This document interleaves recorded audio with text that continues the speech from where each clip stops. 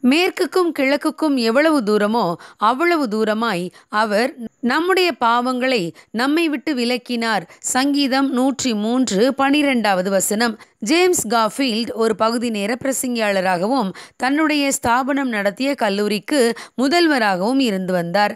அவர் ஒரே நேரத்தில் இரண்டு கைகளாலும் எழுதும் திறன் பெற்றிருந்தார் என்று கூறப்படுகிறது. அவர் ஒரு கையில் கிரேக்க மொழியில் எழுதினால் மறு கையில் அதே நேரத்தில் லத்தீன் மொழியில் எழுதுவார். ஆயிரத்தி எண்ணூற்றி எண்பதாம் ஆண்டு அவர் அமெரிக்க தேசத்திற்கு ஜனாதிபதியாக தேர்ந்தெடுக்கப்பட்டார். ஆனால் ஆறு மாதத்திற்குள்ளாகவே துப்பாக்கியால் சுடப்பட்டார். துப்பாக்கி குண்டு அவர் பின்னந்தலையில் நுழைந்தது என்றாலும் அவர் சுய நினைவை இழக்கவில்லை.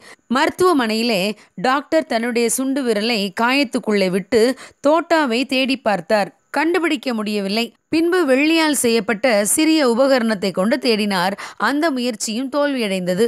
அந்த கோடை காலத்திலும் ஜனாதிபதி அசௌகரியப்படாமல் பார்த்து கொண்டனர்.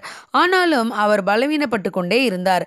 மருத்துவ குழு ஒன்று அவரை மேலும் மேலும் சோதித்து கொண்டே இருந்தது. ஆனாலும் அந்த துப்பாக்கி குண்டு இருக்கும் இடத்தை கண்டுபிடிக்க முடியவில்லை. இறுதியில் தொலைபேசி கருவியை கண்டுபிடிக்கும் பணியில் ஈடுபட்டிருந்த அலெக்சாண்டர் கிரஹாம்பெல் ஜனாதிபதியின் தலைக்குள் இருந்த உலோக குண்டை கண்டுபிடிக்கும்படி வரவழைக்கப்பட்டார். அவரும் முயற்சி செய்தார் முடியவில்லை. ஜூலை மற்றும் ஆகஸ்ட் ஆகிய இரு மாதங்களிலும் செய்த முயற்சிகள் பலனளிக்காமல் செப்டம்பர் மாதம் ஜனாதிபதி இறந்தே போனார். அவர் காயத்தினால் மறிக்கவில்லை தொடர்ச்சியான சோதனைகளால் ஏற்பட்ட இன்ஃபெக்ஷன் தான் அவர் மறிக்க காரணமாயிற்று. ஆம் பிரியமானவர்களே இதை போலத்தான் மனிதனுடைய பாவமும் அவனை முடிவிலே கொன்று விடுகிறது.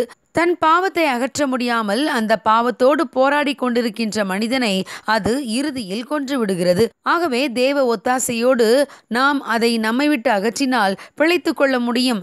தாவீதின் பாவத்தை தேவன் அவருக்கு உணர்த்தியபோது உடனடியாக அவர் தேவனோடு நல்மனம் பொருந்தினார். தேவன் அவர் பாவத்தை மன்னித்து மீண்டும் அவருக்கு வாழ்வை கொடுத்தார். ஆம் பிரியமானவர்களே பாவத்தோடு போராடி கொண்டிராமல் தேவ ஒத்தாசையை நாடுவோம். தேவன் நம் பாவத்தை நம்மை விட்டு விலக்கி நமக்கு வாழ்வளிப்பார். God bless you have a blessed day